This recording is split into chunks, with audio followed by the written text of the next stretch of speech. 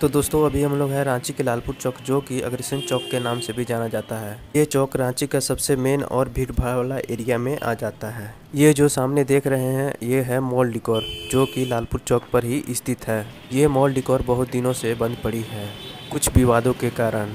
ये है लालपुर का उदय होटल, जो कि अपनी शुद्धता के लिए फ़ेमस है।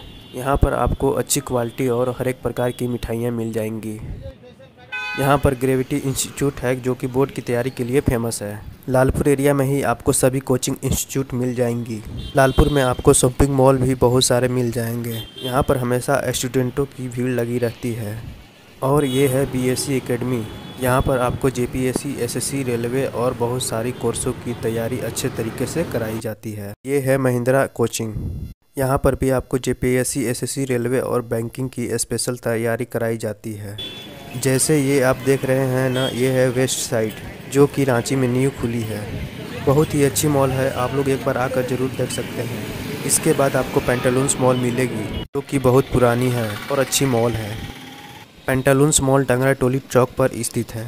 अगर आप लोगों को रांची के मॉलों के ऊपर फुल वीडियो देखनी है तो लिंक डिस्क्रिप्शन में डाल दूँगा। वीडियो को यहीं तक रखते हैं। वीडियो पसंद आया तो वीडियो को लाइक, शेयर, कमेंट कर दीजिएगा और चैनल पर नए हैं तो चैनल को सब्सक्राइब भी कर दीजिएगा। तब तक के लिए बाय, फिर मिलते हैं अगले वीडियो में।